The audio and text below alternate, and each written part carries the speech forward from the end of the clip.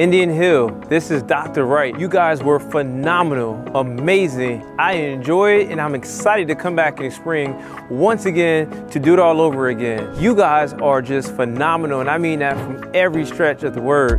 I want you guys to remember to make responsible decisions. Remember, our decisions are based off our choices. Remember, decisions have consequences.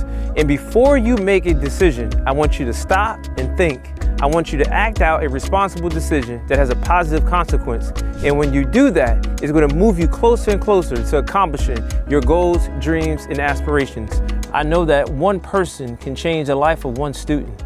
And I hope that these kids know that when I come in that I truly care about them and that I really want them to know that they have worth and value and that they can become somebody in life if they just have a deep belief in their own worth and value. Remember, it's intelligence plus character. Thank you so much from the warm welcomes. Thank you so much for engaging. Thank you so much for participating. You guys are amazing, and I really mean it from the bottom of my heart. You have a bright future ahead of yourselves. Blessings.